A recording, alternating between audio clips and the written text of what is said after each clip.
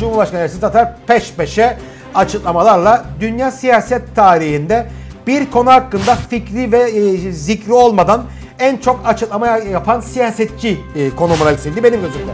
O da tabii ki federal çözümle ilgili. Son açıklaması da federal çözümle ilgili. Efendim tek egemenlik olursaymış eğer Rum hegemonyası e, başımıza musallat olacakmış.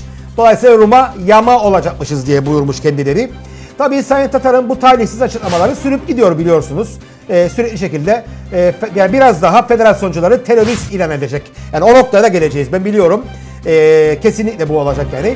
Ee, Sayın Tatar yine işte en son e, açıklamasını yapmış. Ee, siyasi eşitlikten bir haber olan, e, siyasi eşitlik olmadan, egemenlik paylaşılmadan federasyon kurulamayacağını e, kendisi bilmediği için tabii sadece kendisi değil e, kendisini yönlendiren danışmanları da bu konudan bir haberdir ve ön yargılıdır.